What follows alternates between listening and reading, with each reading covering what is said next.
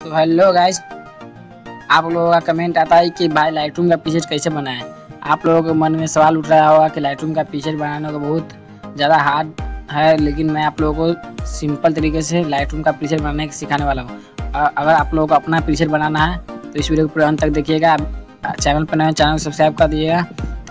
चलिए बिना देरी की वीडियो को स्टार्ट करते हैं। यहाँ पर लाइट रूम पर क्लिक करिएगा आप लोग।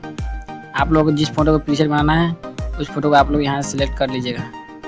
जैसे कि मैं बता रहा हूँ, इस फ़ोटो को मान के चलिए पीछे बनाएँगे इस फ़ोटो पर क्लिक करिएगा, उसके बाद उसके बाद आप लोगों को जैसे एडिट कर एडिट एडिट करने को बताता हूँ। पहले आप लोग ऑटो पर क्लिक करिएगा, उसके बाद कलर पर आके यहाँ पर मिक्स मिक्स है मिक्स पर क्लिक करके आप लोग एडिटिंग जैसे जैसे मैं कर रहा वैसे वैसे आप लोग कर दीजिएगा।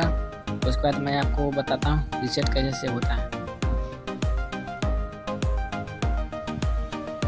इतना डन पर क्लिक कर करिएगा इफ़ेक्ट पे आके इफ़ेक्ट टेक्सचर को पूरे हंड्रेड प्लस कर दीजिए इसकी क्लियरिटी को भी आप लोग फोर्टी फाइव यानी पैंतालीस प्लस कर दीजिए ग्रेडिंग पाइएगा।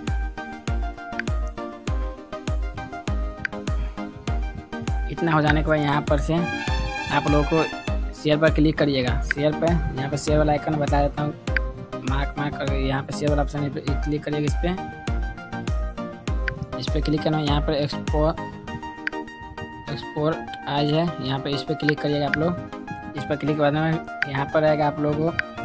यहाँ पे आप लोग डी एन जी कर लीजिए डी एन जी देख लीजिए, यहाँ पे डी एन जी है। इस पर क्लिक करके इसके आप लोग राइट पर क्लिक कर दीजिएगा। तो आप लोग यहाँ पर प्रीसेट बन के तैयार हो चुका है। आप लोग इसको यूज़ करके बताता हूँ। यहाँ से आप लोग थ्री पर क्लिक करके यहाँ से कॉपी करके इसको राइट पर क्लिक करिएगा। उसके बाद एक सिंपल पिक ले लीजिए। उसके बाद थ्री डॉट पर क्लिक करके यहाँ से पेस्ट सेटिंग कर दें। देखिए, एक क्लिक में इसका एडिट हो गया। अगर आप लोगों को वीडियो पसंद आया तो वीडियो को लाइक करके चैनल को सब्सक्राइब कर दीजिएगा। आप लोगों को जैसा एडिटिंग चाहिए कमेंट कर दीजिएगा। मैं वैसा एडिटिंग करके ला दूँगा। तब तक के लिए बाय गाइस